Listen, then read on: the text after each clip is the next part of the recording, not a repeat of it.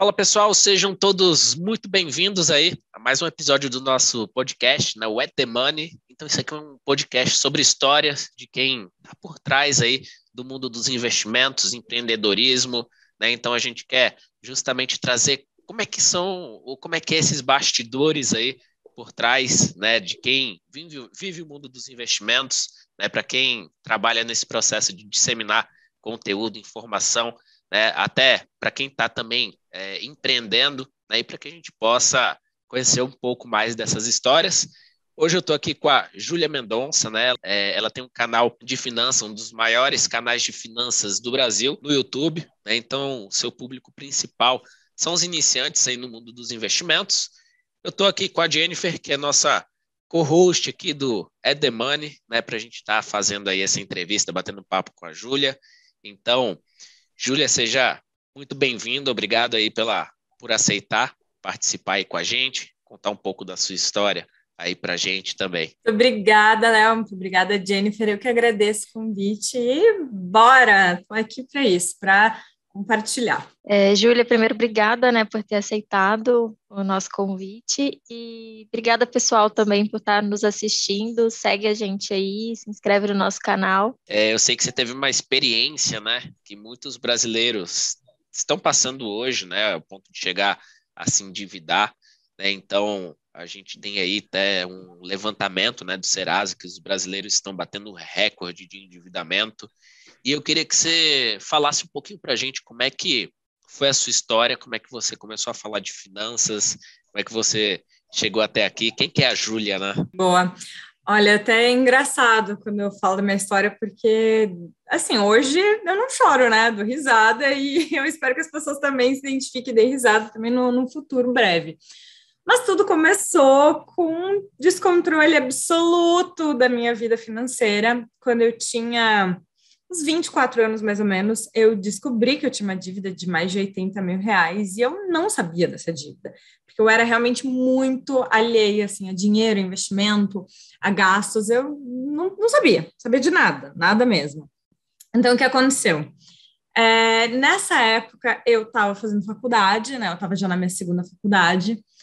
Eu estava ganhando bem para estagiária, era um salário bem interessante mesmo. E bem nessa época, o Felipe, que era meu namorado e hoje ele é meu marido, ele tinha acabado de se formar, ele se formou como médico. E aí ele começou a fazer plantão, começou a ganhar um pouquinho melhor.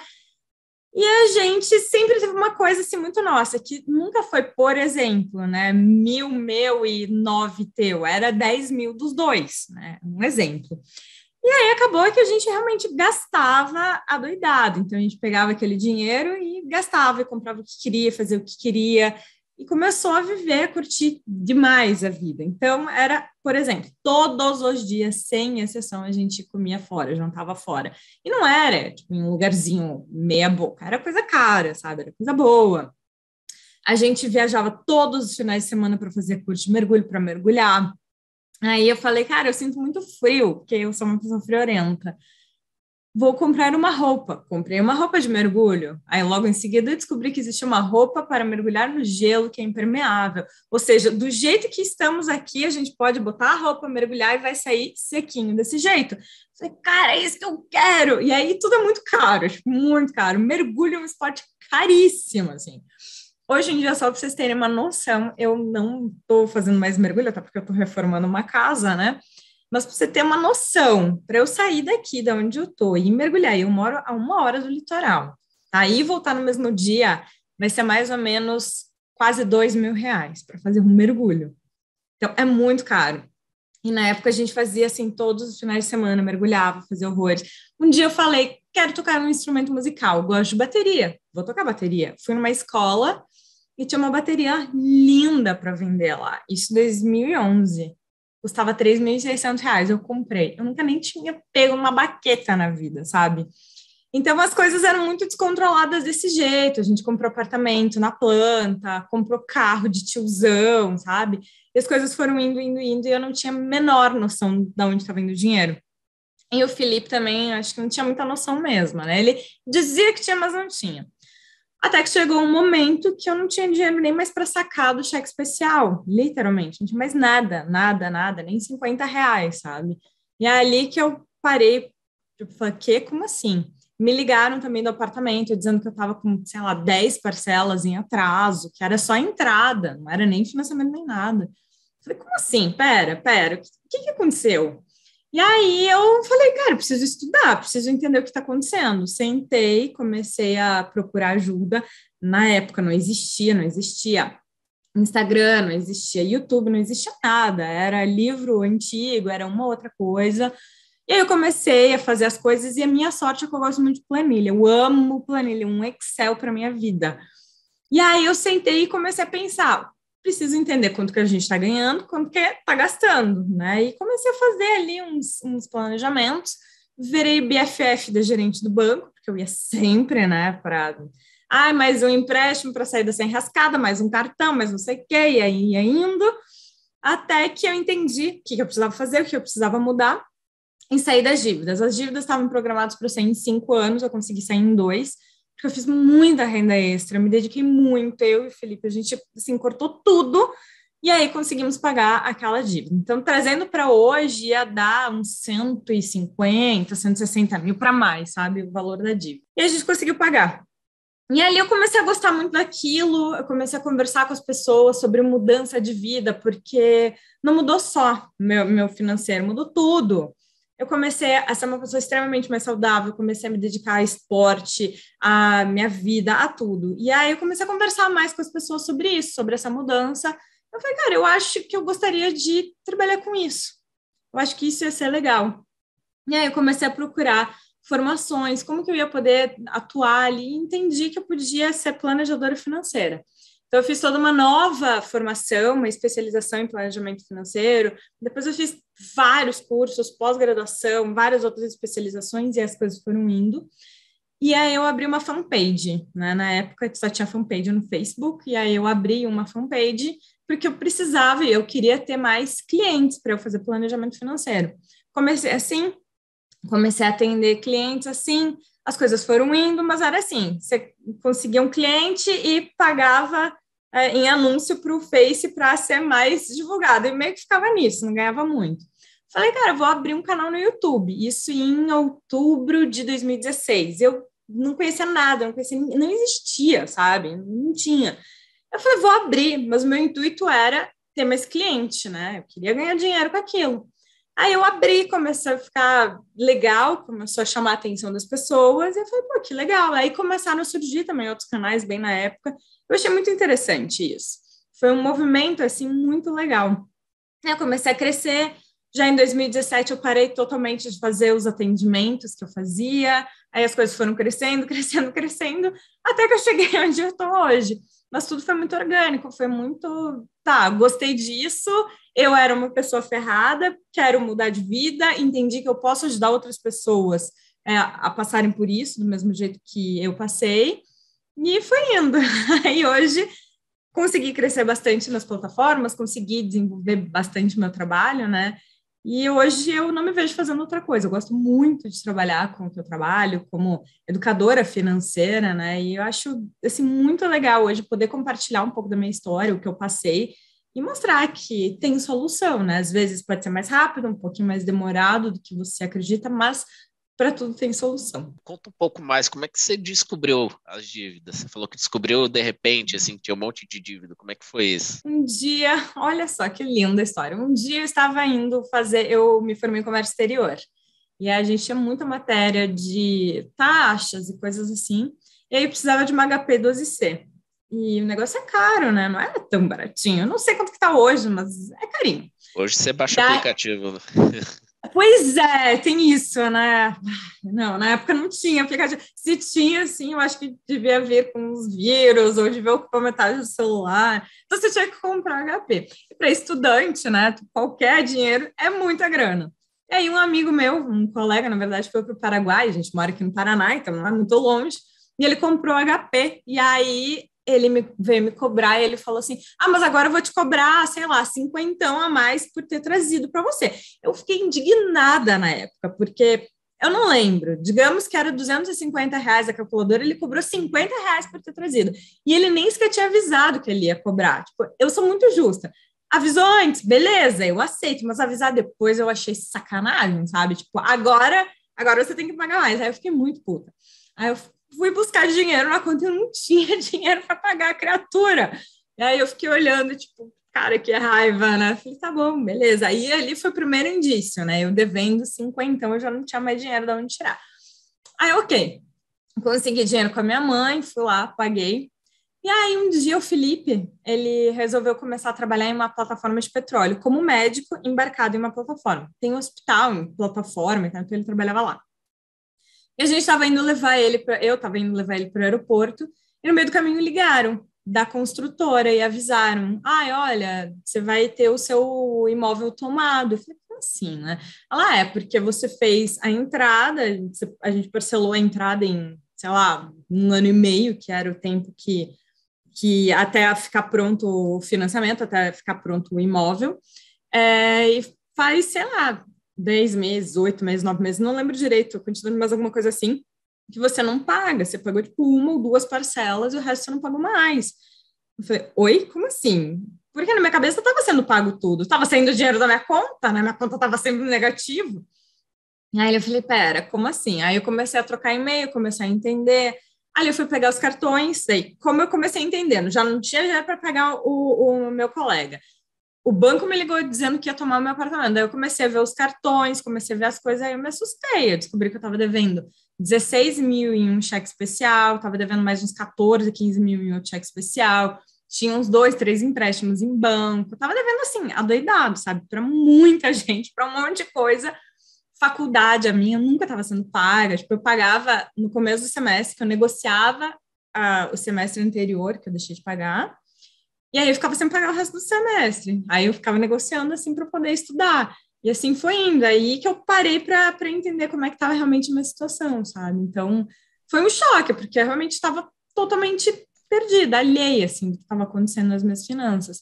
E quando eu descobri, eu estava numa situação assim muito pior do que eu poderia imaginar, né? É, eu acho que tem muita gente que passa pela mesma situação que você, né? Que se endivida, que não percebe que está se endividando e que vai tomando crédito né, em algum banco ou pegando emprestado com alguém da família e é um buraco para sem fundo, né? Você acha que quando você começou a se tocar, assim, que você estava endividada, você sentia mais vontade de comprar ou você sentiu vontade de falar, pera, deixa eu buscar ajuda ou é, deixa eu estudar, né, arrumar um jeito aqui de me organizar, ou despertava essa vontade em você? Nossa, minha única vontade era sair daquela situação. tinha vontade zero de comprar, na verdade, tinha vontade de queimar tudo que eu tinha gasto meu dinheiro, porque você começa a se sentir assim uma trouxa, sabe? Você fala, meu, eu sou uma otária, como que eu tenho esse monte de coisa aqui, estou devendo para um monte de lugar, sabe? Você começa a se sentir mal, porque você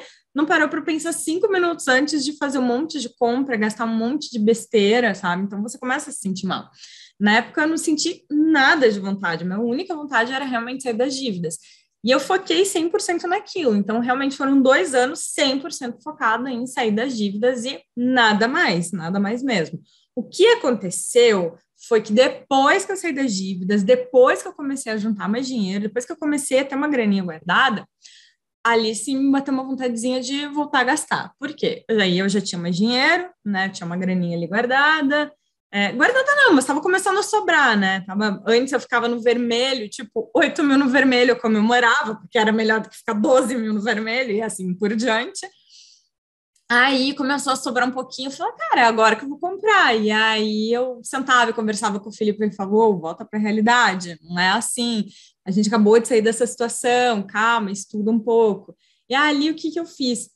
Nesse momento, eu me cerquei de pessoas extremamente bem-sucedidas. Na época, eu comecei a participar de um site, de um fórum que falava muito sobre investimento e finanças.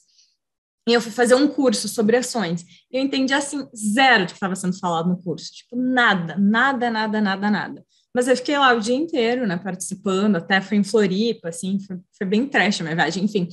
É, mas o que eu achei legal foi que eu estava olhando, assim, as pessoas que estavam sentadas do meu lado eram pessoas extremamente normais e comuns, nada demais, e elas conversando, tipo, ah, porque eu tenho 10 milhões, porque o outro, ah, eu já cheguei nos meus 3 milhões, porque eu não sei o que, e eu olhava, tipo, calma, o quê? E é ali que, sabe, acordou, assim, abriu minha cabeça, porque eu comecei a me cercar de pessoas que realmente já tinham feito muito, que já estavam muito à frente que eu. E aí eu comecei a entender o que elas faziam, que elas não gastavam, que elas economizavam, que elas investiam, e é ali que mudou realmente a minha, minha cabeça, minha chavinha, porque senão é muito fácil, você tem dinheiro na conta, você vai olhar e dá vontade de gastar, dá vontade de sair por aí voltando aos últimos antigos hábitos ruins, né? Você vem com aquele negócio, né? Eu mereço. Aí você quer gastar mais. Eu consegui, né? Sair das dívidas, agora eu tenho dinheiro. Super legal, vamos lá, vamos fazer mais uma viagem, né? Vamos comprar mais roupas, e é assim que vai, bem isso. É, e assim, dinheiro é a coisa mais fácil do mundo de gastar, né? Não é difícil gastar dinheiro. Então você tem que ter é autocontrole, autocontrole também, assim, para sair de uma situação igual a sua e realmente mudar, assim, o mindset, né? É, é. Tem uma frase do, acho que, não sei se é o Jorge Paulo Lema, mas eu já li no livro dele, aquele Sonho Grande, que ele fala, né? Você é a média das pessoas que você convive. Então, acho que aí tá uma, uma máxima, né? Que você seguiu bem, assim, de cercar de pessoas que tinham o que você queria, em termos de conhecimento, assim, de saber o que essas pessoas fazem. Muito legal. E, e eu fiz você... isso naturalmente, assim, sabe? Não foi ah, eu acho que vou fazer isso. Eu só percebi, eu só também fui conhecer também o livro dele depois. E eu falei, cara, olha, acertei também, coisa boa, né? É porque vira natural, sabe? Quando você muda a cabeça, vira uma coisa natural você querer mudar os comportamentos. Verdade. Como que foi para você essa virada de chave para começar no mundo dos investimentos, assim? O que você indicaria, assim, para o público fazer e também quem vive nessa, nessa situação, né? De se ver ali endividado putz, como que eu faço para sair daqui? Dessa nuvem, né? Que às vezes parece que é um, um negócio que está ali em cima de você e que você não vai conseguir sair. Então, como que você acha que foi essa virada de chave para os investimentos, assim? E essa uhum. organização também, né? É, acho que a primeira coisa é, como você falou, sabe, Jennifer, as pessoas, elas têm a mania, assim, eu também tinha, de achar que tá tudo acabado estou é, com dívida hoje, eu vou ser eterna endividada, eu nunca vou ser ninguém na vida, eu sempre vou ser pobre, eu sempre vou ser devedora, coitadinha de mim e tal. Eu não estou aqui, sabe, não é julgando, menosprezando, só que a gente se coloca nesse lugar muitas vezes de não tenho condição, eu estou aqui, aqui é meu lugar e é assim que eu vou ficar e não enche meu saco. Só que as pessoas não percebem que é uma fase, é um momento da tua vida que você pode mudar, você está nas tuas mãos mudar, né? E eu não tô, jamais fui hipócrita de dizer, gente, sério, fecha o olho, sonha, acredita. Você é pobre, você vai ficar milionário amanhã. Não, não vai, desculpa, não vai. Essa é a realidade. Você pode? Pode, óbvio. Você vai ter que trabalhar muito, vai ter que mudar muita coisa. Então, eu não sou dessa, dessa teoria de que, sabe, só sonha, acredita, vamos lá. É, mas dá para mudar muito o patamar, dá para mudar muito a tua vida. E esse é o ponto, né? Você sair de um, um negócio que está ruim, sustentável, para um lugar onde está melhor, onde você consegue respirar, onde você consegue ter mais escolhas e opções né, de vida, mais liberdade também. Então, a primeira coisa é entender que é uma fase da tua vida pode ser uma fase péssima, mas é uma fase. E quando eu falo fase, é, tem que pensar o seguinte: a gente está aqui, né, neste pontinho aqui, pequenininho da nossa vida, um, um centímetro, e a gente tem que pensar que a nossa vida tem mais, sei lá, um metro, sabe, pela frente. Então a gente não pode achar que aquele um único centímetro ele corresponde a 100% do que você vai viver.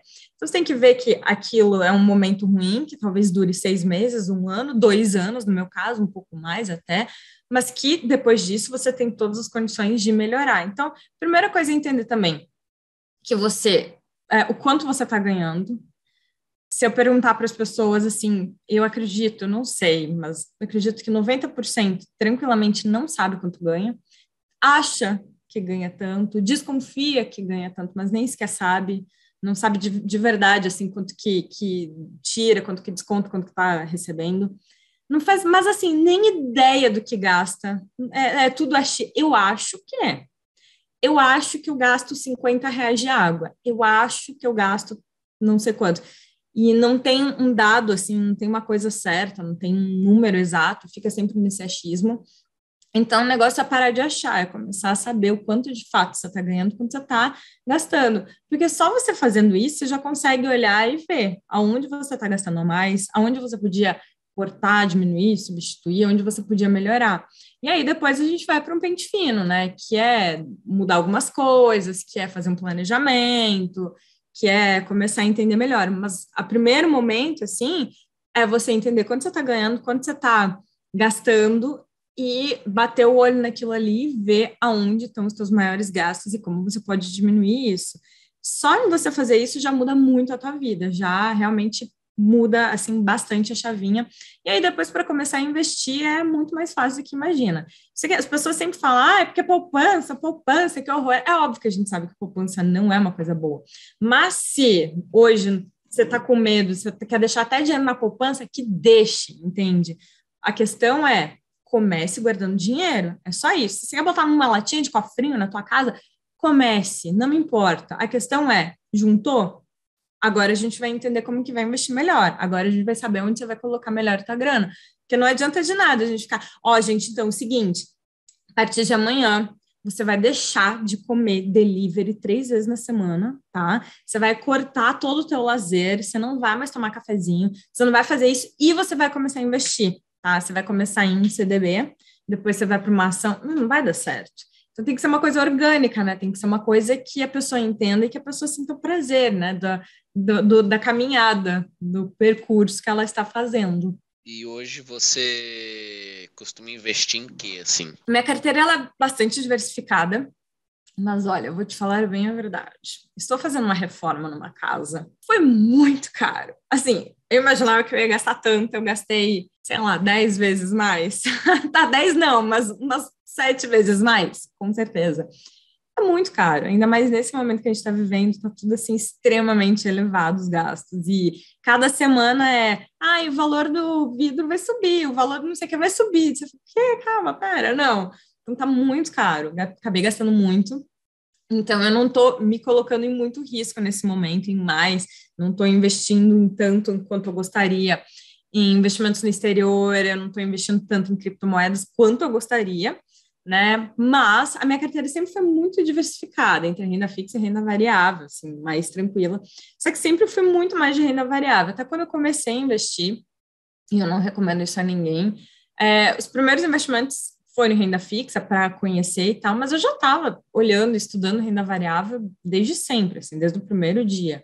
Então, minha carteira sempre foi pelo menos, mas assim, pelo menos mesmo de 70%, de 70% a 90% em renda variável, sempre, desde o começo, praticamente, sabe?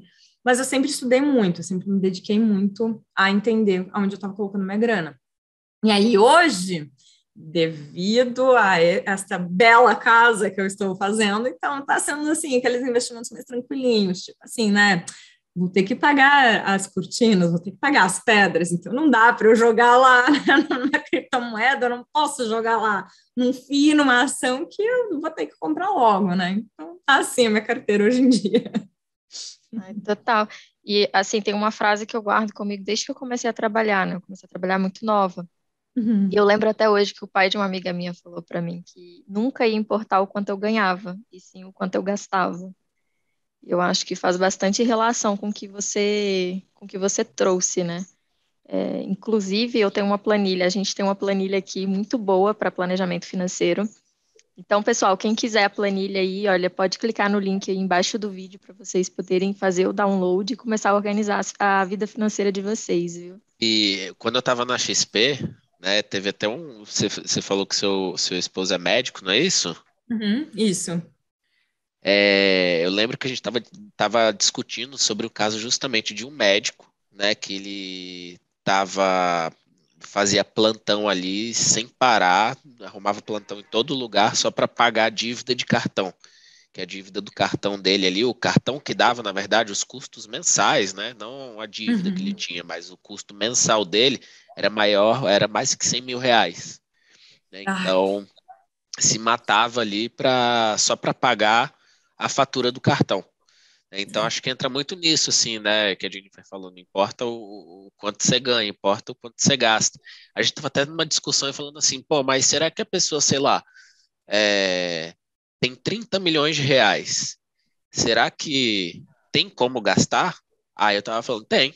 Você vai claro. ver um apartamento aqui em São Paulo de 30 milhões, você dá uma boletada, já era seu dinheiro, acabou. É, e nem isso, você compra. Tá, vamos lá. Vamos, vamos comprar um apartamento mais humilde em São Paulo, num bairro mais ou menos, porque aí tá muito caro. Gastou lá, sei lá, 6 milhões no apartamento. Aí você vai resolver reformar, vai colocar tudo do bom e do melhor. Caso vocês não saibam, hoje em dia, gente, sério, mobília, vocês não têm noção que é o valor disso. Meu Deus, contando uma, uma, um breve relato. Cheguei eu numa loja, porque a minha arquiteta botou realmente coisas muito bonitas, mas tem um programa que faz o desenho né, das casas e ele dá sugestões. Ela me mandou lá e eu vi, eu fui numa loja aqui em Curitiba que eu não sabia que era a mais cara que tinha de imóveis. Eu cheguei lá toda lindona. E aí eu bati o olho e falei: caramba, é esse pendente, é esse pendente que eu quero. E são dois que precisava para minha sala. Aí eu abraçada já no pendente, falei, quanto? Aí ele, 17 mil cada. falei, ok, ok. Tipo, vamos procurar um falsificado disso aqui, não, uma imitação. Falsificado não, não, um que, que veio aparecer. Gente, é, é daí para pior, assim, o negócio é um carro. Oi, pode falar. Quando você falou isso, a gente riu porque a gente estava montando o estúdio aqui, né? E, e assim, ah. a gente está tá montando o escritório. E a gente montou o estúdio, os móveis, uhum. a mesa, a cadeira, a, os móveis lá da frente também. E aí eu falei, cara, não é possível que tá dando esse valor só de móvel. Que isso? Tipo, absurdo. Um absurdo, né? Nossa, é muito caro. Tipo, uma mesinha de centro, 30 mil reais. Ah, mas é porque é assinada por fulano de tal. Deu, oh, tá. Tipo, é assim. É assim. Nossa, é uma loucura. E é isso, tá muito caro. Aí você vai lá, imagina. Aí você comprou, gastou 10 milhões. Aí você fala, gosto, gosto muito de casa na praia, gasta mais um pouquinho. Gosto muito de carro, compra dois, três. E assim vai teu dinheiro. É claro que dá para gastar. Nossa, se você. Tem, tem aquela máxima também, né? Que se você não cuida bem de, de mil, você não vai cuidar bem de 10 mil, de 100 mil, de um milhão, de 10 milhões. Você vai gastar. E a gente até pode ver isso, sabe, Léo? É, jogador de futebol jogadores de futebol que eram extremamente ricos lá muitos anos atrás, há, há, décadas atrás, e que infelizmente ficaram sem nada, né? Que a gente sabe que gastaram muito dinheiro, que tem vários vídeos mostrando os caras lá com 20 carros, pagavam um monte de coisa para todo mundo. Infelizmente acontece, né? E se você não presta atenção, teu dinheiro escoa, principalmente hoje, assim, que a inflação tá alta, escoa muito fácil. Se você não cuida no mercado, você gasta já metade de um salário mínimo fácil, brincando. Você falou isso, é, eu lembrei de outro caso também, quando eu estava quando eu lá na XP, eu, eu, conheci um monte de história, né? Eu tinha acabado de chegar em São Paulo, né? E beleza, a gente estava lá na XP, pós-expediente, não, vamos para o happy hour, né? Que, sei lá, acho que todo dia a gente ia para o happy hour. E aí, tinha um ex-jogador de futebol que era amigo de um dos analistas lá e ele foi pro e ele foi pro bar. Né? E aquele jogador, ele falou que chegou a ganhar, ele começou a contar a história dele, né? O analista falou, bateu nele e falou: oh, "Conta aí a sua história, quanto você perdeu de dinheiro?" E aí ele falou que chegou a ter 30 milhões de reais e estava ganhando muito bem e aí o que uhum. ele fazia? Festa, fretava jatinho, levava os amigos, não sei o que, não ah. sei o que. Aí a carreira dele foi caindo, ele foi mantendo o gasto e aí quebrou. Então, Ai, que triste, né? É, é muito, é muito triste isso. isso. É, é muito triste. E é bem isso, né? Se você não tá prestando atenção onde você tá gastando, nossa, vai embora e não volta. E infelizmente não volta, né? Verdade. E pensando aí na, na sua história, né, que você trouxe ali do seu marido, que vocês é, tinham uma parceria, né, e que eu acredito que é essencial também. E nessa uhum. sua mudança, assim, de, de vida, de mindset, imagino que foi feita tudo em construção ali, junto com seu esposo, é como que você, qual que você enxerga, né, que é o maior erro e o maior acerto, assim, para que um casal consiga conquistar a independência financeira? Acho que a pior coisa, assim, o mais errado que eu vejo é quando uma pessoa acredita, de novo, os achismos, é, acredita que sabe cuidar muito bem da grana e quer passar essa impressão para o outro do casal. Então, até histórias, né? Eu acho que histórias são legais porque a gente consegue se ver nas histórias, né? Não é essa, mas eu acho que muita gente vai, vai saber, assim, vai se identificar. Quando eu fazia planejamento financeiro, quando eu trabalhava como planejadora, eu só atendia médico, basicamente. Por quê? Para médico é fácil conseguir dinheiro, eles fazem um pontão, conseguem um dinheirinho, mas é muito mais fácil gastar também. Eles vão lá, passam cartão, passam grana e falam, ah, tudo bem, qualquer coisa eu faço um pontão. E aí vai indo. E aí eu atendi um médico que ele ganhava mais ou menos isso há uns cinco anos atrás, cinco, seis anos, ele ganhava mais ou menos 60 mil reais por mês, porém de dívida ele tinha 57 mil todos os meses. Só de financiamento do apartamento dele era 12 mil reais, eu lembro direitinho, eu falei, que? Como assim? Pera. Isso há um bom tempo atrás. E aí ele olhou e falou assim: e eu odeio esse apartamento. Eu só estou morando aqui porque a família da minha, da, da minha marida, da minha esposa, ela é do interior, eles são muito ligados em bens, eles acham que eu preciso prover ela, assim, de uma maneira muito, né, muito boa, e aí a gente está aqui, eu não gosto daqui, eu não gosto de nada daqui, eu fiquei bem chocada com aquilo. E aí o marido falou assim, é, mas a minha esposa, coitadinha, ela ganha pouquinho. Eu falei, tá, ganha pouquinho? Eu pensei, cara, ganha tipo um salário mínimo? Ele, não, ela ganha 6 mil por mês, então eu deixo o dinheiro para ela fazer o que ela quiser. Eu falei, cara, pera, não, pera. 6 mil reais por mês não é pouquinho, não é nada pouquinho, é uma coisa muito grande. E eu acho que é esse o problema. As pessoas sabe? Ai, deixa, não vou incomodar. O outro pode estar super bem, o outro pode estar lá ganhando dinheiro, mas ele não sabe da situação, ele está lá do, sabe, um do casal tá dizendo, não, pode ir, tá tudo certo, ai, quer viajar? Não, tá tudo bem, quer comprar mais, pode ir, não, gasta seu dinheiro só com você, que eu dou conta das coisas. Isso eu vejo que é o erro mais comum, é um do, dos lados do casal é, omitir, né, omitir, dizer que tá tudo bem, não de verdade sentar e fazer um planejamento, e muito menos chegar e falar, olha, não tá rolando, eu não sei cuidar, eu não sou tão bom assim, com finanças, podia me ajudar, ou pelo menos compartilhar ali a situação. Eu acho que esse é o pior erro, assim, sabe? E aí fica muito complicado, porque daí um do casal, por exemplo, essa menina que eu falei, essa, essa mulher que eu falei, ela acreditava 100% que a vida estava maravilhosa, com 6 mil reais ela podia gastar com o que quisesse, então, teoricamente, teoricamente a vida dela era linda, maravilhosa, e luxo, tudo bom no melhor, enquanto o marido estava lá endividado, tendo que trabalhar um monte sem contar. Eu acho que esse é o pior erro, sabe? Quando existe franqueza, aí as coisas vão para frente, né? Quando existe sinceridade, é aí que as coisas vão para frente. E eu acho também que tem que ter, eleger alguém do casal que se identifique mais e que goste mais de cuidar. Porque os dois também, o tempo todo, os dois mexendo é complicado. Os dois têm que estar a par, mas um tem que realmente pegar um pouco mais, só pode deixar, eu pago, eu faço, eu presto contas, a gente conversa, mas eu tomo conta aqui, porque é muito complicado isso de dinheiro, né? É, um não, não aceita muito bem como o outro está gastando, ou fica brigando, fica querendo arranjar justificativa, pedindo ali, é, o que, que você fez com o dinheiro? Ah, não concordo, acho isso besteira. Então, nada melhor do que a sinceridade, né? E alguém tem que tomar as rédeas, então que seja a pessoa mais apta a isso, né? E você acha que para quem tem condições vale a pena contratar um um serviço de planejamento financeiro? Ai, muito! Nossa, se eu, se eu tivesse dinheiro na época, eu tinha contratado, porque ia me economizar horas e horas e horas de quebrar a cabeça, de ficar lá pensando o que eu ia fazer, onde eu ia cortar, né? Empreendendo sozinha. Vale muito a pena você sempre procurar auxílio, porque a gente tem que entender, eu sempre falo isso, poxa, eu sei fazer meu cabelo, sei fazer uma maquiagem, eu sei pintar minha unha, a questão é, eu estou disposta a gastar todo esse tempo para quem tentar chegar num nível profissional? E mesmo assim, será que eu vou chegar nesse nível? Não. Então, não é melhor eu pagar para alguém que já fez isso, que tem como profissão, e eu focar naquilo que eu sei fazer bem?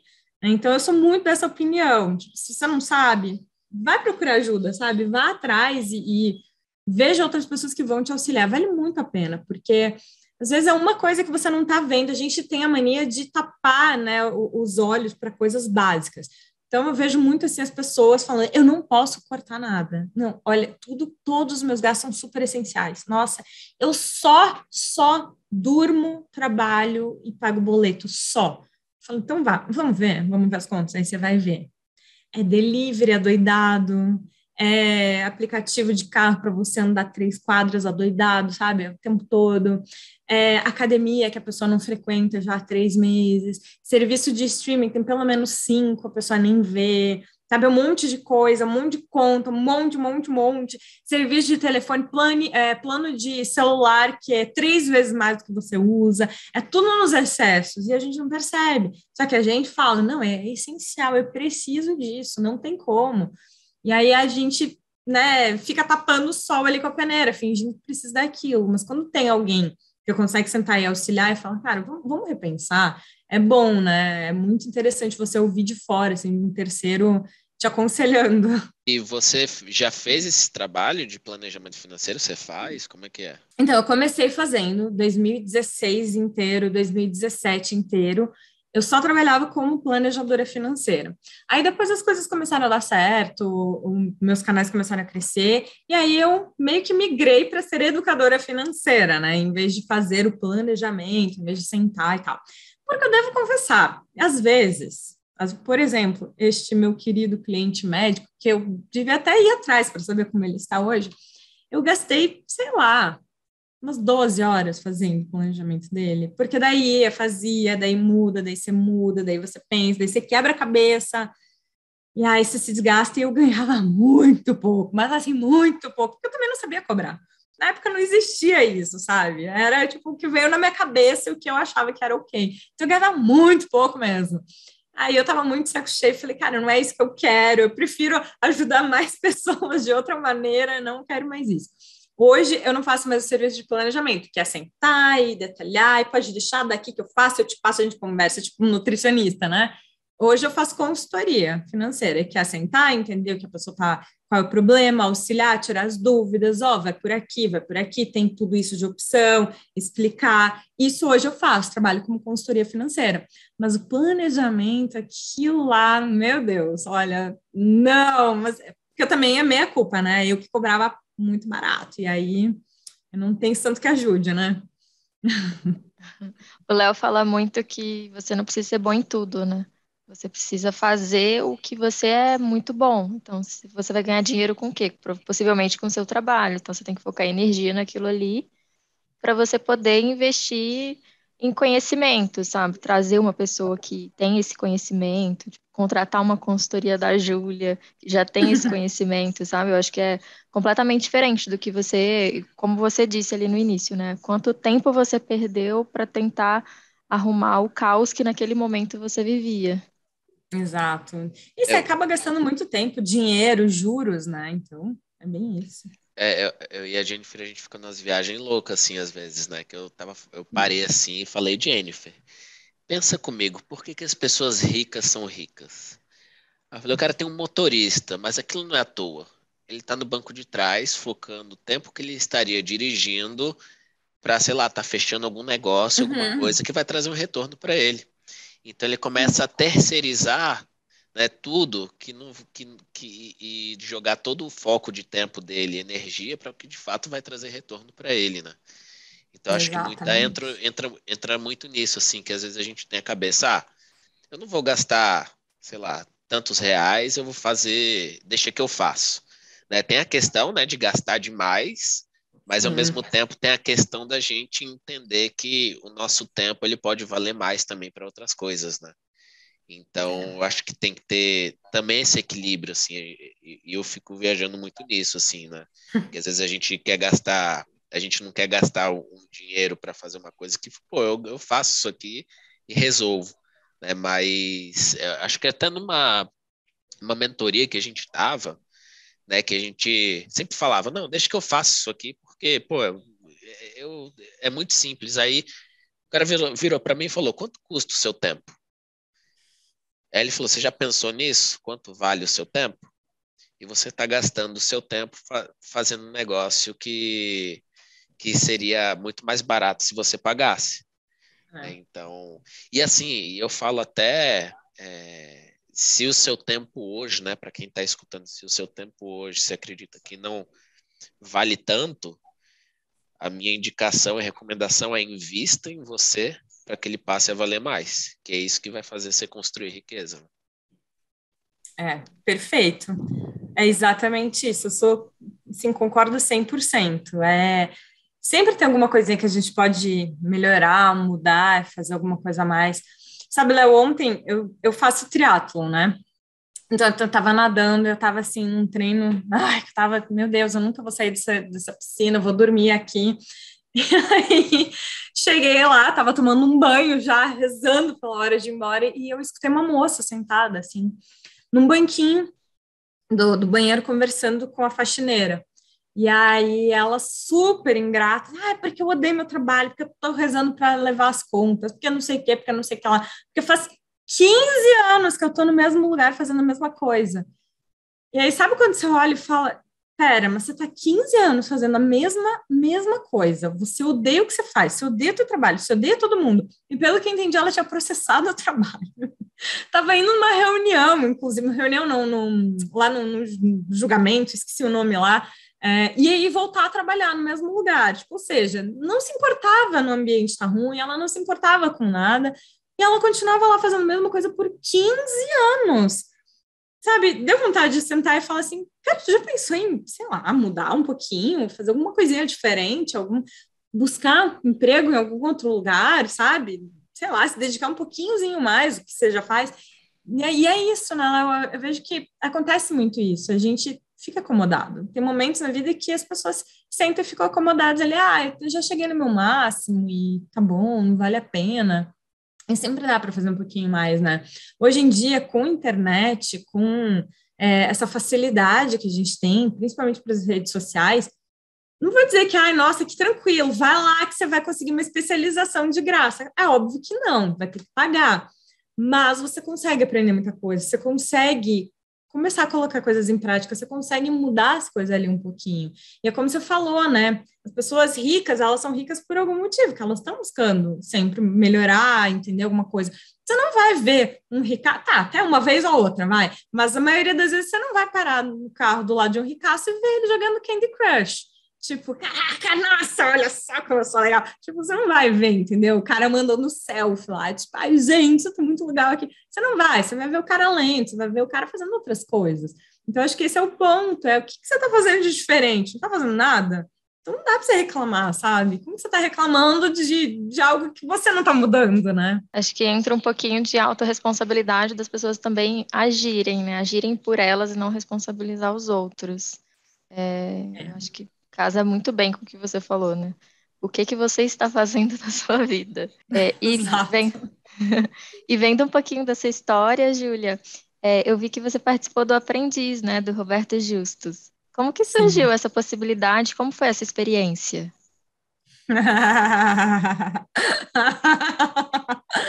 Ai, meu Deus, que eu por onde começamos? Bom, é, essa foi uma edição diferente, né? Porque acho que fazia cinco anos que tinha sido o último episódio. O último episódio acho que tinha sido com celebridades. E aí o nosso foi influenciadores digitais. Então o convite surgiu deles. Eles que vieram atrás, eles convidaram todo mundo. Não foi, não fomos ninguém lá do programa que se inscreveu, né? E assim, na época eu ficava meio assim, porque obviamente todo mundo já sabia a fama dos justos, né, de ver os programas e tal. Você fala, meu, vou ser humilhado, vai ser a coisa mais horrível do mundo, meu Deus, né? Minha família também, meu Deus, não faça isso, você vai sair mal. E aí eu falei, cara, também se eu não for, vai ser muito pior, porque eu vou ficar o resto da minha vida. E se eu tivesse ido? Ai, se tivesse, e se, se, se. Eu falei, quer saber, eu vou. Fui, mas assim, é, eu não gostei muito, sabe? Eu não gostei muito, já falei isso várias vezes, não tem o menor problema. É, a experiência foi legal, mas eu acho que várias coisas me fizeram não curtir tanto. Eu acho que o momento de vida que eu estava, onde talvez eu estivesse um pouco mais insegura naquele momento, sabe? É, eu estava caminhando na minha jornada a ser quem eu sou hoje, óbvio. Óbvio que hoje eu estou caminhando para a minha jornada de amanhã e essas coisas filosóficas, né? Mas eu sinto que eu estava ainda ali meio que desbravando, sabe, mesmo quem eu era. Eu estava num momento assim meio de ai, vai, vai, não é exatamente um reality show, é, mas não é, sabe? É uma coisa super séria, só que eu esqueci meio que era um reality, sabe? Que precisa ter a outra parte, que precisa ter algumas coisinhas meio chatas, e eu acho que eu não fui muito preparada para isso, assim. Então, eu também cheguei lá é, tinha um, encontrei um amigo meu lá, né, na época, e eu falei, que bom que você está aqui, meu Deus, que coincidência, e foi a maior decepção da minha vida. Então aquilo só me fez afundar mais ainda, sabe? Eu, então foi, foi uma experiência assim que ah, não foi das melhores, né? E eu ainda tive que encerrar todos os contratos que eu tinha. Então, na época, eu estava com alguns contratos com bancos e pessoas muito legais, sabe? Coisas bem bacanas mesmo. É, e eu tive que encerrar os contratos, porque tinha os patrocinadores do, do programa. E aí eu pensei, não, tudo bem, eu vou vou conseguir todos de volta, não é mesmo? Consegui nada, tipo, nada. Porque, infelizmente, o programa não foi muito bem, né? Então, eu não consegui nem seguidor, nem dinheiro, nem nada. Então, é, foi essa a minha experiência. Mas, assim, se eu tivesse que voltar hoje, eu não sei se eu voltaria, sinceramente. Mas, se eu tivesse que voltar, eu ia voltar uma pessoa muito diferente, assim, mas muito diferente daquela pessoa que eu fui, sabe? Porque o tempo vai nos amadurecendo, né? Vai mostrando as coisas, assim, mas é difícil, viu? Não é uma experiência muito fácil, não. Até porque, sabe, Jennifer, é, lá tinham dois grupos, a gente tinha mais ou menos 18 pessoas no total, e às vezes as provas duravam três dias, tipo, a gente começava às sete da manhã e ia até às nove da noite, literalmente trabalhando. E isso era passado no programa, tipo, em dez minutos, sendo que no meio tinha comercial, tinha um monte de coisa. Então, é muito assim, ó. Se, por exemplo, a câmera me pega duas vezes assim, pronto, você é a sonolenta. Se a câmera te pega muito assim, tipo, pronto, você é o bravo, sabe? Você é não sei o quê. Então não dá nem para você se expor direito. E foi até interessante, porque as pessoas que viam nas minhas redes sociais, nossa, muito diferente. Eu falei, sim, né? Editado. Tipo, tinha um monte de gente, eu mal aparecia, tinha programa que eu só aparecia falando, ah! E pronto, acabou. Então, é isso, assim, foi uma, foi uma experiência. Podia dizer que foi uma experiência. Às vezes a gente fala, situações que a gente passa, né? A gente conversa muito. Pô, se pudesse voltar atrás, você faria? Né? Aconteceu, né? Algumas coisas assim que, que a Jennifer perguntou para mim: você faria isso de novo? Eu falei: faria, porque só ia saber como foi se eu tivesse feito. Né? Então, você só está aqui hoje porque você fez, né? Também. Exatamente, dando certo ou errado. O errado a gente aprende, né? A gente vê como as coisas são e como é que e a gente vai ganhando experiência. Né? A gente aprende muito mais com os erros do que com com, a, com os acertos. Então, acho que. É, com certeza. E, Júlia, eu queria fazer uma pergunta para você. Uhum. Antes de mais nada, pessoal, deixe seu like aí, o joinha aí, que é super importante, tá? Pra gente. para que esse conteúdo ganhe relevância aí. E, bom, aqui a ideia no, no Etemani, né, também é falar sobre empreendedorismo. Uhum. Assim, porque eu acho eu, eu, eu, amo empreender, assim. Eu, quando eu saí da XP, eu tinha um conhecimento de mercado, eu falei, agora eu vou abrir minha empresa. Eu não tinha noção que eu tinha que entender de marketing, de gestão, de, é, de dados, de, e eu tinha que aprender um monte de coisa, assim, que era fora do meu mundo, né? Então, foi um sofrimento é, de aprender tomando risco, né? E fazer as coisas andarem. Eu queria saber como é que como é que é a Júlia, empreendedora? Você sempre teve esse lado aí, empreendedor? Como é que você se capacitou aí para ser uma empresária bem-sucedida? Zero lado empreendedora. Nunca. Eu, eu, quando eu comecei com as minhas coisas, eu, na verdade, eu não via como um empreendimento, sabe? Eu não pensava nisso como empreendimento. Eu pensava meio que ah, um trabalho, sabe? Não como estou empreendendo, vou criar coisas, formas. É, era quase como uma CLT para mim mesma, sabe? É, é, estranho isso, porque você não consegue desvincular essa ideia de, cara, eu vou empreender, vou ter meu negócio e tal. Mas, né, por outro lado, desde o começo eu pensava, eu preciso profissionalizar também.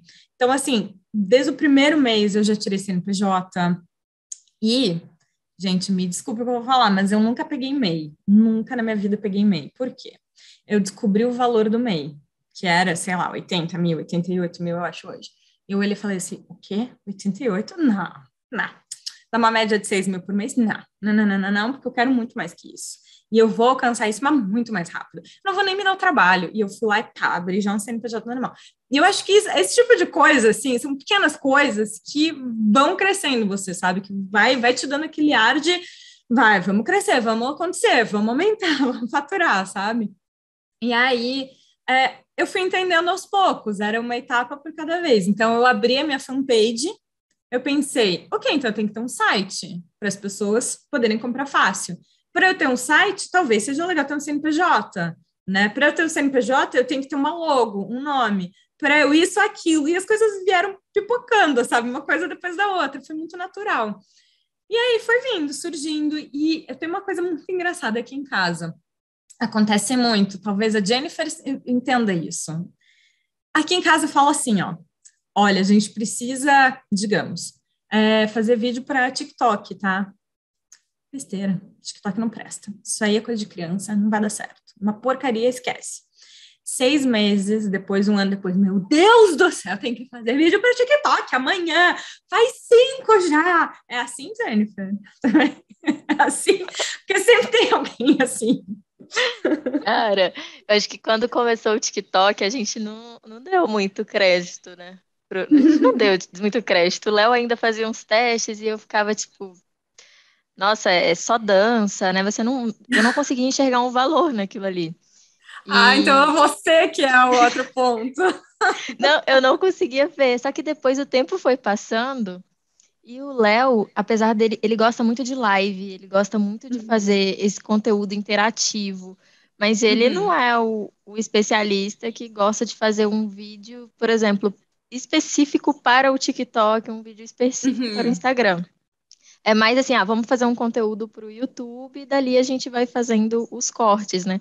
Só que às vezes tem algumas plataformas que exigem que você dê essa atenção para aquele formato de conteúdo. Então, assim, eu, o que eu vejo, percebo aqui é o trabalho de convencer, às vezes, que precisa fazer um, um certo tipo de conteúdo para você convencer, sabe? Tem que argumentar muito, Sim. trazer número. Porque senão também, hoje, ele que não vê valor. Mas para um analista, se não tiver número, não vale de nada, né? Tipo, já era. Nem, nem me mostra, nem fala. É, é verdade. Eu... E vocês fazem muito cálculo, assim, né? Eu não sei se, se hoje você ainda se atua só com consultoria, se você também é, tem algum tipo de, de certificação, mas independente da certificação, eu acho que quem está mais acostumado, assim, com conteúdo mais técnico do mercado, é muito cálculo, né? Não, vamos, vamos uhum. fazer aqui uma conta. O Léo, para você ter uma ideia, até a conta de quanto tempo ele fica no elevador, ele faz. Pior que é mesmo, eu fiz. Eu falei, Jennifer, é um absurdo a gente, a gente que a gente mora no 26 né? Eu falei, uhum. olha o tempo que a gente perde. Eu fui cronometrar o, o tempo que o elevador demorava para chegar e o tempo que ele ficava Nossa. congestionado. Eu falei, a gente perde. Eu nem me lembro qual foi o cálculo que eu fiz, mas eu mostrei que a gente perdia no três dias, eu acho, no elevador por ano. Eu falei, olha que absurdo isso. Só que eu tenho essas loucuras, assim, né? Eu já vou numa planilha ali, já começo a fazer projeção, já me perco, faço um negócio muito louco. Às vezes a projeção é tudo errado também, mas eu, eu faço, então eu te entendo, eu também faço isso. Tipo, por umas coisas erradas, eu falo, gente, olha que horror. Então, tá, calma, não é possível. por exemplo, aquelas, aquelas contas de, de vestibular, né? Qual a velocidade média que o ciclista passou? Você fala 450 km por hora, é óbvio. Daí você fala, não, pera, tem alguma coisa errada aqui, não tá certo isso. Mas eu te entendo. Mas é isso, assim, sabe? A gente sempre aqui em casa foi muito assim então eu falava, vamos fazer. Não, não, não, não, não, porque é melhor fazer outra coisa. E aí eu chegava lá, a água batia na bunda, agora vamos correr, agora corre. Então sempre foi assim, sabe? E não sei de onde vem esse mim. Eu, eu bato o olho e falo, cara, eu acho que eu preciso fazer isso, eu acho que eu preciso fazer aquilo. E é claro que eu não sou sempre antenada, mas eu acho que eu tenho um pouco mais de tina, assim, eu fico muito mais esperta com o que as pessoas falam. E eu acho que isso vem muito das pessoas conversarem comigo, né? Das pessoas falarem o que elas sentem, o que elas procuram. Então, eu acho que o, o meu lado empresarial foi muito disso, de sentar e ouvir quem está me, me seguindo, de sentar e ouvir quais eram as demandas, os medos, as dificuldades e começar a bolar coisas ali e falar como que eu posso ajudar? Como que eu posso ajudar e ganhar dinheiro com isso? Como que eu posso crescer, né? E, e unindo as coisas. Então, é hoje, assim, é muito legal. Quando eu começo a perceber que tem algum ponto que as pessoas estão pedindo muito e eu não tenho uma resposta pronta, principalmente no meu Instagram, se a pessoa chega e fala, Júlia, eu queria tal e tal coisa, tal e tal produto, e eu não consigo uma resposta pronta, uma resposta até programada já no Insta, eu falo, pera, então tem que ir atrás disso, tipo, pera, né? E aí eu começo a pensar, vale a pena não vale a pena, mas é isso que eu busco hoje, sabe? E eu já aconteceu muito. A pessoa fala assim, ah, eu queria tal coisa. Eu não tenho, nunca fiz. Não, mas peraí, tá, é, é tanto, já faço, já crio, já tá aqui, vamos lá, bora, e é isso, assim eu acho que as coisas também vão melhorando, né? Você vai, vai ficando mais calejado, você vai se jogando na. Claro, claro que eu faço. Uma vez eu, eu conheci uma repórter aqui em Curitiba, ela trocou de emissora de TV. E aí a emissora perguntou: Você tem experiência com ar, com aéreo, tipo gravação em helicóptero e tal? E ela, claro que, nossa, óbvio, vivia fazendo isso, meu. Ela tipo, tinha andado de helicóptero uma vez na vida, assim, tinha se cagado de medo. E aí ela, óbvio, e aí é isso, né? Pronto, falar e conseguiu. Depois você se vira para perder o medo de fazer. Mas o importante é você, não, claro, tô aqui. O importante é você tentar não dizer não, né? E buscar uma solução para aquilo. Que é o desafio de empreender também, né? É você, é você aceitar os desafios, estar tá sempre melhorando e inovando também, né? Então, acho que, acho que essa é a jornada. E, Júlia, qual que foi o maior case, assim, da sua vida? Um acerto, assim, na, em bolsa, né? Que mudou o jogo da sua vida. Eu não sei com qual intuito você monta a sua carteira de investimento. Se é para acúmulo de patrimônio, óbvio, né? Que no final das contas é isso também. É. Ou se é mais para recebimento de dividendos. A, a, minha ideia é sempre acúmulo de patrimônio. Eu acho que isso veio muito da, da educação que eu tive, da formação que eu tive engraçado falar educação, porque eu não tive educação, né? Da, da educação pós-endividada, né? Quando eu comecei a participar de sites fóruns que eu, que eu mencionei para vocês. Ela era muito focado em junta, guarda, longo prazo, é isso, fundamento, mantenha, boas ações, era muito isso, sabe? Então, eu sempre fui muito, muito, assim, é, Warren Buffettiana, mais ou menos assim. Tipo, compra, é bom, mantém, fica lá, sabe, feliz da vida. E em 2000 e 2013, 2014, 2014, tava rolando a VEG. E aí a galera fica, nossa, a galera fala muito mal da VEG na época, mas muito mal. Falando que ela tava muito cara, que ela tava muito absurda, que a VEG era uma porcaria, que blá blá blá blá blá blá, aquelas coisas de sempre.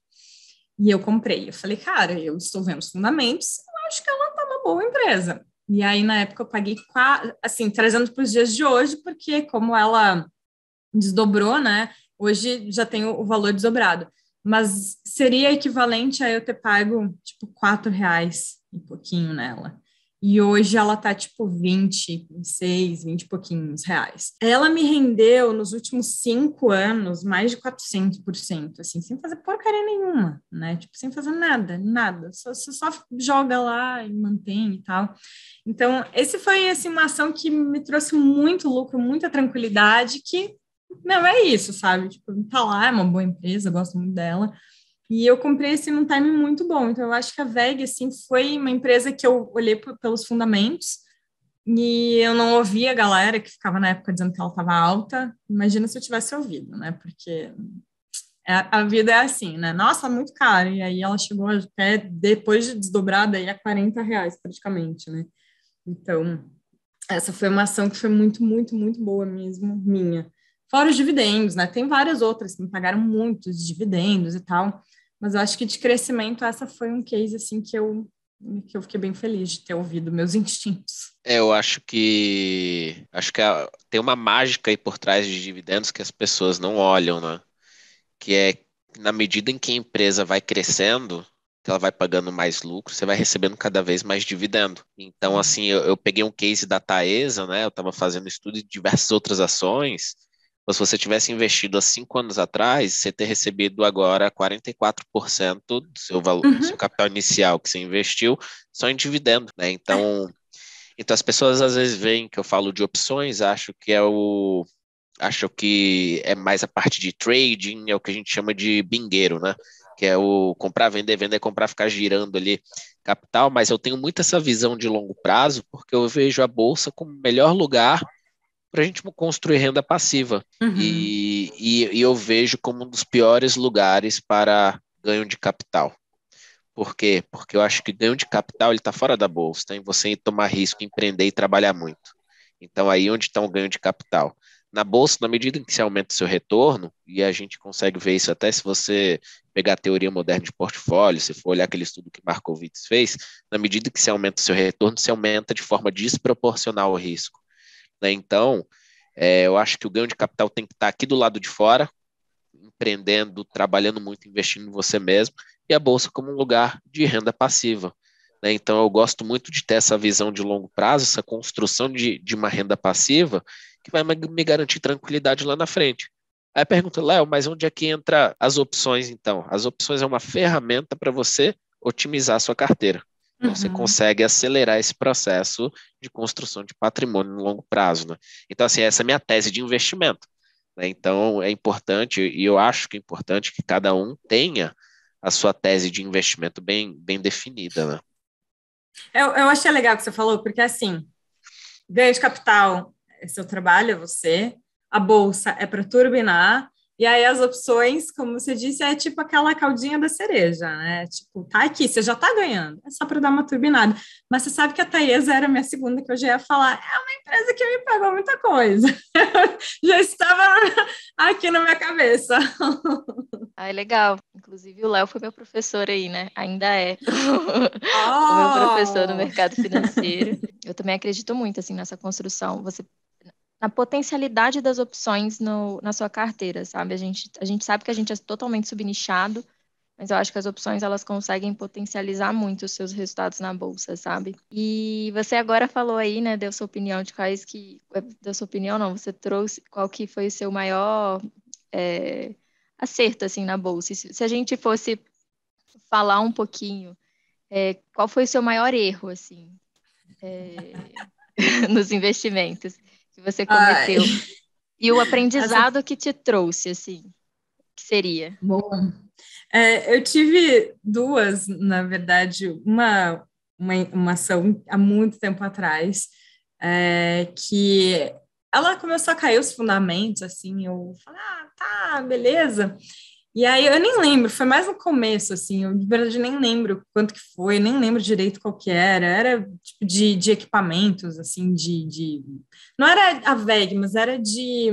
Setor de máquinas? É, é tipo isso, isso, máquina, maquinário, isso aí, isso, isso. Vamos considerar que é indústria e maquinário, isso aí. E aí eu ouvi o mercado também, eu ouvi a pessoa, mas eu, tipo, tinha a mínima experiência. Eu ouvi o pessoal falando que tava ruim, eu vendi, né? Eu falei, ah, tá bom, nem dei bola. Aí depois ela voltou a crescer. Eu fiquei muito puta, porque eu ouvi o pessoal e ela, tipo, foi um momento ridículo, assim. E aí eu fiquei muito chateada. Mas uma outra, essa sim, essa é muito tive, foi a Cielo. mas eu tenho uma justificativa muito boa para ela, né? Porque, veja, há muitos anos atrás, a Cielo nadava sozinha, de braçada, não tinha ninguém. E não tinha ninguém, não tinha maquininha, não tinha nada. Tipo, era só a Cielo. Então você ia num lugar, você passava a máquina do Cielo, você fazia tudo a Cielo, era Cielo, Cielo, Cielo. E aí eu não me liguei. Quando ela começou a perder lugar, quando começou a vir todas as outras, a Cielo começou a perder participação, quando a Cielo começou a cair, eu falei, vou aguentar mais um pouquinho, né? E aí eu acabei tendo um prejuzinho ali com ela, mas eu também não aguentei muito. Eu falei, cara, realmente, agora eu, senti que ela perdeu a vantagem competitiva que ela tinha, não vale mais a pena manter. E aí eu vendi, mas aquela ali, essas duas foram as que me ensinaram. A primeira, pra você lembrar, eu nem lembro qual que era direito, era desse, desse segmento, sabe? Eu, tipo, comprei por indicação, ouvi ok, achei que o pessoal estava certo e vendi, depois a empresa voltou a subir, porque tinha nada a ver, não tinha perdido fundamento nem nada, era coisa da bolsa, né? Muito inexperiente há muito tempo atrás. E a outra era Cielo, que aí não tinha vantagem competitiva mais, já não estava mais tão legal e falei, é, vamos manter mais um pouquinho. E aí a Cielo só para ficar engraçadinho, né? Quando o Facebook voltou, falou assim, agora vai ter Cielo Pay, Durou dois dias, literalmente, que eu, le eu lembro. Foram dois dias. Eu falei, caraca, Cielo Pay, agora vai estourar, agora vai voltar minha açãozinha. Aí durou dois dias, porque daí foi impugnado lá, sei lá por que, que eles tiraram Cielo Pay. Eu falei, é, não vai dar mesmo, vai ter que vender isso aí mesmo, né? Cielo. Eu levo muito em consideração né, a questão de risco como principalmente quando a gente fala de longo prazo, né? Como o value investing eles abordam, né? Que risco é probabilidade de você ter uma perda permanente. Seria o quê? Uhum. Basicamente uma empresa quebrar. E você tem os movimentos intermediários, que são as quedas, as altas, que na verdade eles são prejuízos e ganhos temporários, né? Então, o exemplo que eu uso clássico disso é, por exemplo, um tesouro IPCA para 2035. É um título de renda fixa que em 2035 você vai receber o seu montante ali e ok, você vai receber rentabilidade. Só que a gente vê, ou já viu diversas vezes, esse título cair no meio do caminho aqui, 40%. Então, muita gente que fala, pô, vou botar o dinheiro nesse investimento aqui e o título cai 40%, tem gente que faz a liquidação ali, transforma uma perda temporária em uma permanente, né? E a permanente, de fato, seria se o governo desse um calote. Então, ali você teria uma perda permanente, que a probabilidade é muito baixa. Então, gosto bastante, assim, de diferenciar isso daí. É... O mercado é muito louco, porque tem empresa que vai ser muito boa e que vai passar por momento ruim e depois vai voltar a ser boa de novo. Né? Então, é, é até uma, uma recomendação assim para a pessoa física, é cuidado para não cometer o erro que a maioria faz, né? Que é comprar na alta e vender na baixa no desespero. Então, é o que a gente mais vê acontecer. Pessoal desesperado que o mercado está caindo, realizou ali no desespero, no pânico, e depois, quando está tudo subindo, o cara fala, pô, tô de fora dessa oportunidade aqui. Aí ele quer comprar quando está lá no topo, né? Quando está tudo caro. Então, ter bastante cuidado com isso daí, né? Exatamente. Que, que inclusive, essa forma, né, que que o, principalmente essa tese que eu trabalho usando as opções para a gente gerar renda, né, e com a renda que a gente gera a partir das ações, a gente vai colocando algumas operações mais agressivas para tentar melhorar essa rentabilidade ou amortecer a queda dos ativos, para gerar mais caixa e comprar mais ações, foi o método, método que eu desenvolvi que é chamado de sistema diamante, né? Julia, na sua opinião, qual que é o maior erro assim que o investidor iniciante acaba cometendo nos investimentos e como evitá-lo? Acho que é o que ela falou, é justamente isso. É, primeiro é comprar com indicação, né? Não, não sei o que, que é, não sei nada, fundamento nunca nem vi, não sei nem onde investe, o que, que faz. É, esquecer que tem uma, se a gente está falando de renda variável, né, principalmente, esquecer que tem uma empresa ou tem um imóvel, que tem pessoas, que tem serviços e produtos atrás, não é só um papel né? Que do mesmo jeito que o seu trabalho, você não vai trabalhar todos os dias, a empresa todos os dias é, é ruim, todos os dias é boa. Tem dias que você vai fechar contrato, tem dias que você não vai fechar, tem dias que vai ser ruim, mas o importante é o crescimento, é ver como que essa empresa vai indo no longo prazo, e as pessoas, elas entendem isso, né? Elas esperam que as coisas sejam sempre boas, sempre crescendo, que nunca possa ter uma leve queda, que, que nunca pode acontecer nada de ruim, e aí comprou sem entender, pagou caro e teve prejuízo e vendeu desesperado. E aí sai por aí falando mal. Porque a bolsa é cassino, porque não sei o quê. E daí vem aquelas coisas de sempre. Porque vocês só querem pegar meu dinheiro. Daí você fala, mas eu não peguei teu dinheiro. Você não deu para eu para mim investir. Tipo, você fez isso fazer. Vocês só querem vender curso. Mas eu não vendi curso para você. Você não é meu aluno. Tipo, se você fosse meu aluno, você não ia ter feito isso é, mas vocês não sei o que, sabe? Daí vem essas coisas, assim, que a gente já está acostumado no mercado, né? Que é sempre a terceirização da culpa, tipo, não, mas a culpa é sua, sabe? É você que é você que postou aquele Reels dançando, sabe? É você que escreveu aquilo, é você que é culpado.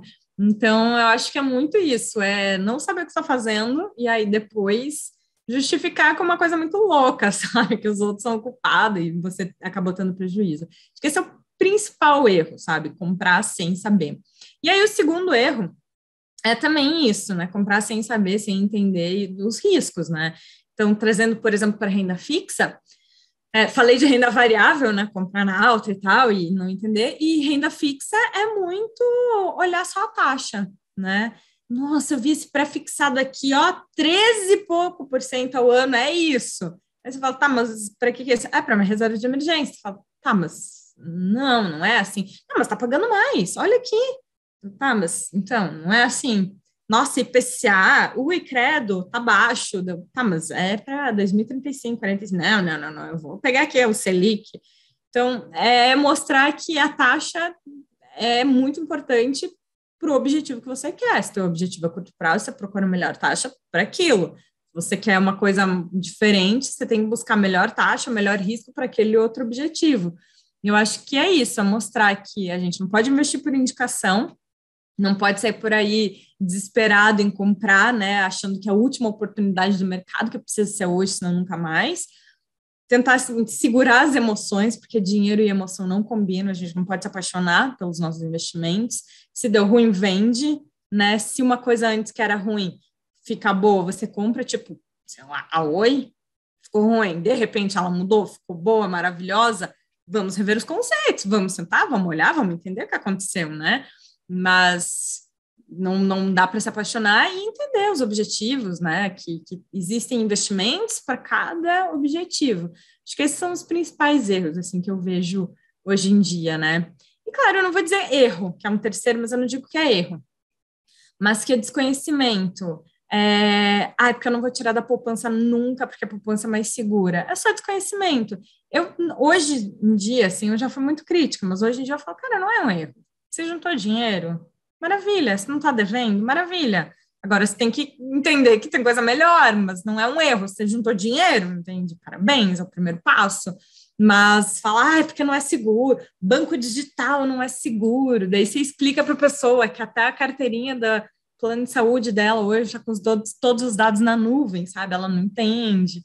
Então, é, eu acho que é isso. Eu acho que esse é muito nosso papel de educar, de ensinar e falar, ok, pode ter confiança para fazer essas coisas aqui. Eu falo que existe um problema normalmente de disposição bilateral. E o que, que é isso, né? Às vezes a pessoa está disposta aos ganhos, mas ela não está uhum. disposta ao risco.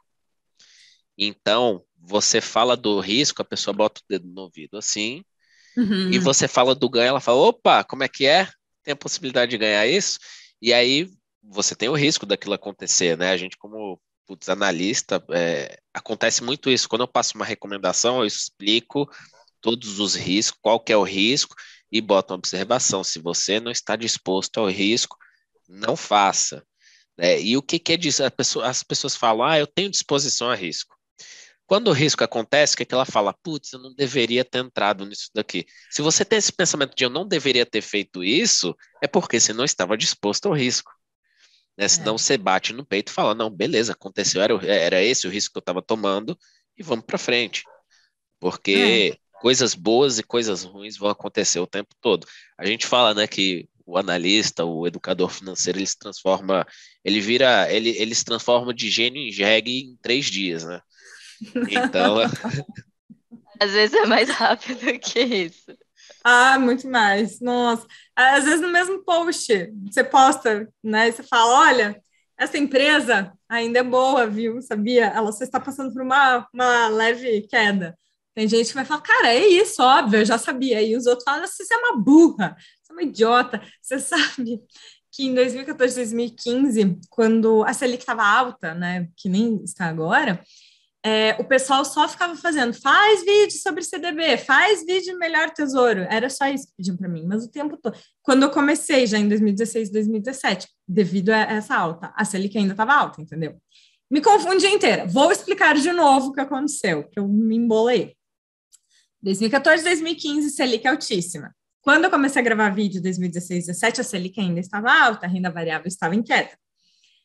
E o pessoal só queria saber de renda fixa, então eles ficavam lá faz vídeo do melhor tesouro, faz com a melhor CDB, CDB é o tesouro, não sei o quê, LCI, 100% CDI, 120%, e era só isso.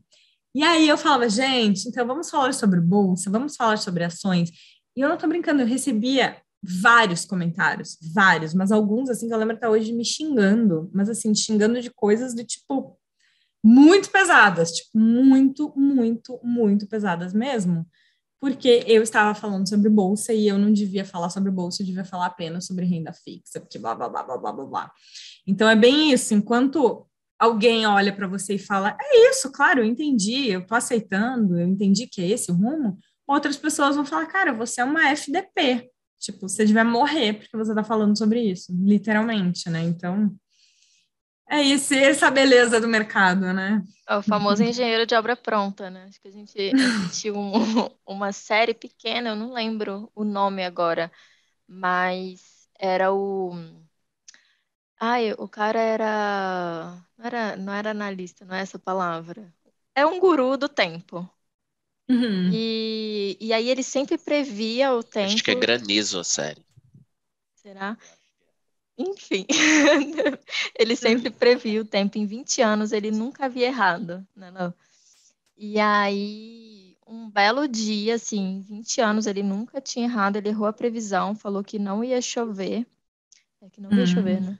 Ele falou que não ia chover, que ia fazer o final de semana de sol, ele era aclamado, assim, era super celebridade e tal. E aí choveu, teve uma puta de uma tempestade que destruiu tudo, não sei o que. No outro dia, quando o cara saiu na rua, tava todo mundo querendo matar o cara, pegar ele, ele teve que sair fugido. É, aí até que ele acertou uma recomendação do tempo que salvou lá a cidade dele, ele voltou a ser aclamado, assim. Mas é uma sátira, né? Esse, esse, esse, esse filme, assim, mas a gente, a gente viu assim como se encaixa não só no mercado, mas na vida mesmo, né? As pessoas sempre terceirizam a responsabilidade, né? Elas querem os ganhos e terceirizam ali a responsabilidade do risco, né? Exatamente. Nossa, vamos procurar essa série, eu gosto de séries curtas. É, se, se você consegue citar pra gente, assim, três mentes brilhantes que você admira e explicar o porquê, tipo, pode ser qualquer pessoa do mercado financeiro ou não, que te servem de inspiração. Olha, Jennifer, essa é uma pergunta complicada eu vou explicar o porquê. Eu já falei muito, há muito tempo atrás eu falava assim, ah, eu gosto muito de fulano, ciclano, beltrano. E aí passava uma semana, fulano foi indiciado, ciclano sonega, não sei o quê. E aí eu ficava com uma cara, tipo, é, não, era outro, nada a ver. Aí hoje... Sobrenome eu- era diferente, né? tipo, nossa, pá, não. E aí, até um tempo atrás, eu fiz uma live com um cara, ele falou, três pessoas que você admira. E eu falei os três nomes, e assim, um deles eu vi na hora, eu não tinha me ligado, eu não conhecia muito bem o cara, é um guru, assim, sabe, na internet. E aí o cara, eu falei o nome, ele, ele tipo, hum, ah, e aí eu expliquei por que eu gostava daquela outra pessoa, assim, e aí ele ficou meio assim, puta. Eu falei, ah, não entendi, whatever, tanto faz. Aí eu falei de outras duas pessoas que, cara, no- nossa, deu muito ruim. Então, assim, eu não posso dizer assim, quem eu gosto, quem eu admiro, pessoas, porque eu já, já, já, já tô gato escaldado disso. Eu falo, é, todo mundo é legal, todo mundo é chato, é isso aí, né? Mas eu gosto muito, assim, aquelas coisas bem clichê, né? É, pessoas que eu gosto muito, que eu, que eu acho bem bacana, deixa eu pensar, minha mãe, meu pai, você. E pode ser também, né? Que eu acho que são pessoas fundamentais aí para a base da nossa vida. Mas é, Não, mas é Hoje, brincadeira. assim, né? Você, você se inspira assim é, em- na sua vida, sabe? Que você pega uma um livro, não sei, algum autor legal que você leva ensinamento, ou até uma série assim legal que você viu. Você sabe que eu, eu acho que eu sou, eu sou muito de momento, sabe? Eu não, não levo alguém assim, tipo, eu não levo uma coisa, uma pessoa por muito tempo. Então, por exemplo, tá, eu adoro o Warren Buffett, adoro, beleza, adoro ele. Aí ele vai lá e faz uma coisa que eu não curto, por exemplo, né? Ele sempre foi super contra o mercado de aviação. Eu odeio o mercado de aviação, porque o mercado de aviação, isso, isso e aquilo. Daí o que ele fez? Ele investiu no mercado de aviação antes da pandemia. Aí é, é aquela coisa de você olhar e falar assim, cara, eu admirava essa pessoa, olha a cagada que ele fez, sabe? Que nem o guru que errou a, a, o granizo. Previsão. Aí comecei... É, a previsão, isso. E aí é, é muito isso. Eu comecei a, a entender que tá tudo bem, tá tudo bem, óbvio. Eu não acerto sempre, nem quero, né, no meu dia a dia. Então, eu eu gosto de coisas das pessoas, né? Eu gosto de, de momentos das pessoas. Então, por exemplo, se eu estou sentada lendo um livro, naquele momento, se aquele livro faz muito sentido para mim, eu gosto muito dele e coloco em prática. Então, teve um livro, um livro aquele A Sutil Arte, de tacar foda-se, alguma coisa assim, né? Sinceramente, hoje eu acho o livro uma porcaria, eu acho horrível o livro. Mas na época fez muito sentido. Na época era o que eu estava precisando, sabe? Na época foi, foi total sentido. E para encerrar o livro, ele falou assim: ah, eu, ele encerrou o livro no, no Cabo da Boa Esperança, na África do Sul. E eu tava lá nessa época, eu fui sozinha para lá, para África do Sul. Fiquei sozinha lá. Eu estava no Cabo da Boa Esperança, totalmente sozinha, sem ninguém lá. E aí aquilo bateu em mim, sabe? Porque lá foi o lugar que eu mais me senti pequena no mundo, sabe? E aí, pequena porque realmente é uma imensidão aquilo. E aí eu, fez muito sentido para mim. Eu falei, cara, que coisa maravilhosa. Para mim, aquele livro foi bom no momento. Mas depois eu já li, tipo, e falei, é, não é bom, é uma porcaria, mas fez sentido. Então, é muito momento, sabe? É muito a leitura, é muito o, o livro, o filme. Sei lá, por exemplo, é, Dark, que é aquela série da Netflix, eu amo, meu Deus, eu amo aquela série da Dark. Aí eu fico pensando já nos meus multiversos, o que eu faria, o que eu não faria. Tipo, não que eu, obviamente, vou procurar um multiverso, mas tipo, você começa a pensar em coisas que você podia fazer hoje, sabe? Que, que vão mudar teu dia, o que eu posso fazer, o que, eu falaria para mim.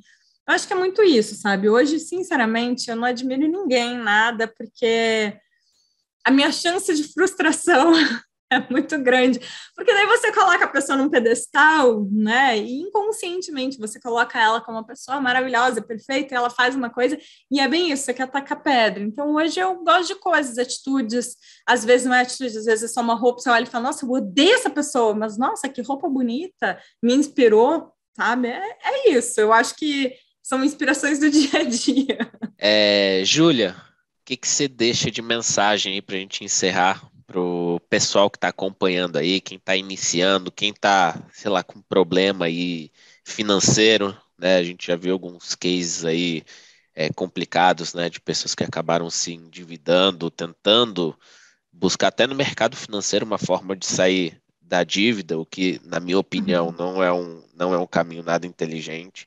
Então, Sim. Não sei, manda um recado aí para o pessoal, para todas as pessoas aí que estão acompanhando. Eu acho que são duas frases que se complementam. Acho que a primeira é lembrar que é só uma fase, tanto para bom quanto para ruim. É uma fase de queda, é uma fase de ganhos, nem sempre.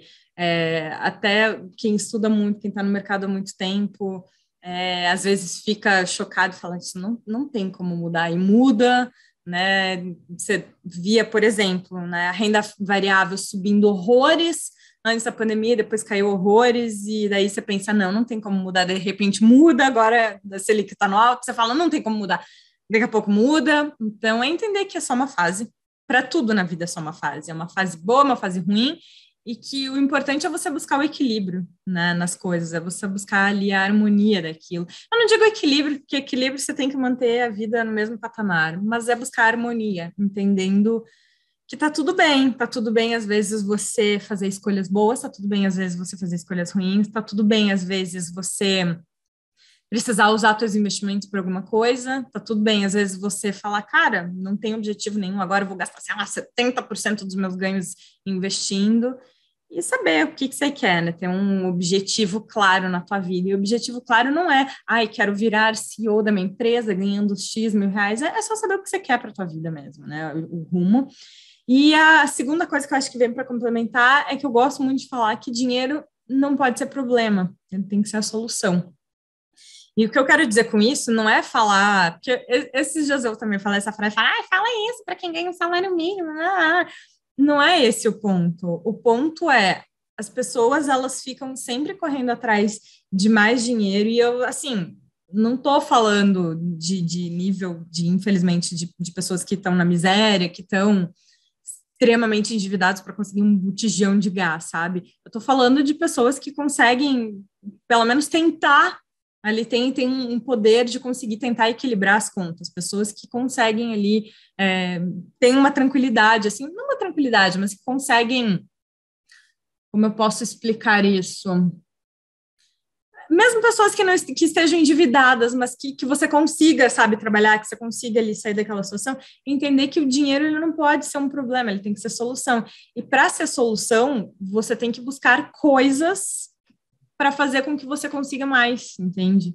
Então você precisa se especializar, você precisa melhorar o seu trabalho, você precisa buscar fontes de renda, você precisa trabalhar mais por aquilo, mas você não pode achar que o dinheiro é a única coisa na tua vida. Ah, eu vou trabalhar só dinheiro, só dinheiro, só dinheiro.